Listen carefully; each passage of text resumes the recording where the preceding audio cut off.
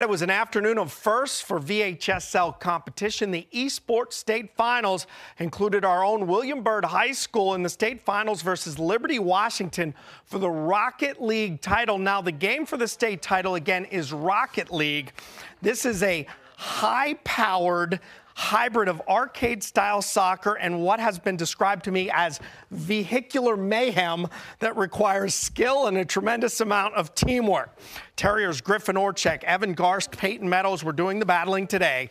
And despite falling in the finals to Liberty Washington in this online battle between the two schools, William Byrd finishes as the state runner up with a pilot program that has a lot of future positives.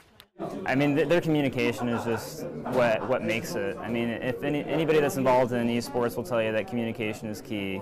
Um, it's one of the most important things. I would take good communicators over people with the best skill any day, right? And that's what employers want to see. Um, I, I think that a lot of people don't realize what esports is doing for these these young kids. They're you know, immersed in technology.